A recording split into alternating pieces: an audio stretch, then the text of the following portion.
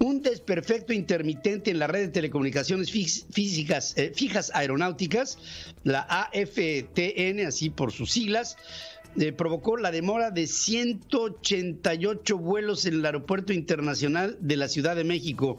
La falla se generó en los servidores de un proveedor de Internet de la, de la FAA, lo que ocasionó la interrupción en la comunicación de los planes de vuelo entre México y los Estados Unidos. Ante esta situación, el gobierno federal activó redes que no operaban desde hace 15 años, según informan los servicios de navegación del espacio aéreo mexicano, el CNEAM.